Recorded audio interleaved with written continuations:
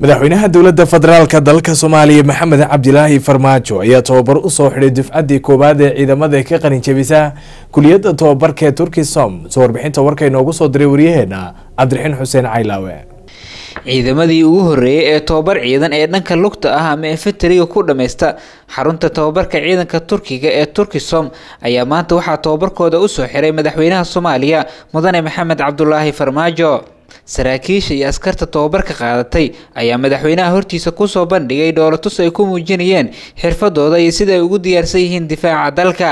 Taliyaha ciidanka xoogga dalka cabdiweli jaamac gorod ayaa dowladda turkiga ugu mahadceliyey dadaalka ay ugu jiraan dib u dhiska ciidanka xoogga dalka.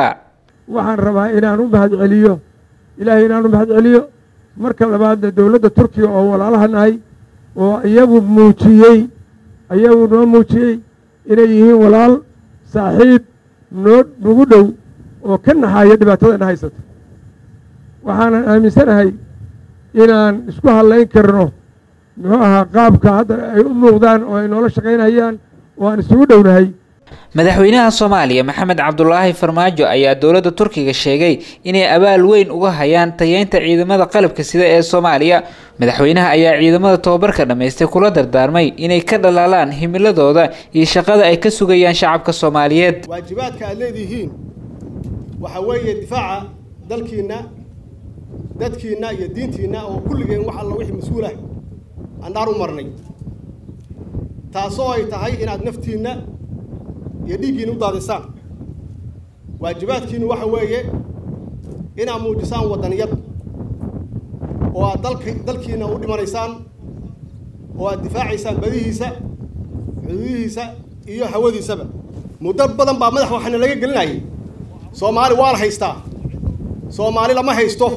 Soomaali waa dad xora. Waa dal xora. Soomaaliya waxay diyaar u tahay waddan walba oo caalamka ah inay la jaanqaaddo oo ay la saaxiibto oo aan naloo tilmaamin waddankaan la saaxiibi lahayn iyo waddankaan la coloobi lahayn. Taasna anaa ugu horreeya oo leh soomaaliya waa xor dadkeenu waa xor dalkaan rabnaan la saaxiibi karnaa oo dana soomaaliyed ka shaqaynaya waddan walbana waxaan rabnaa waddan walbana waxaan rabnaa inaan macaamil la samaysano ugu dambeyntii madaxweyne farmaajo waxaa loo soo bandhigay qalabka iyo hubka dufcadan isagoona kormeeray fasalada iyo goobaha tobabarka ay ku qaateen ciidamadan. Cabdiraxiin xuseen caylaabe somaali kebal muqdisho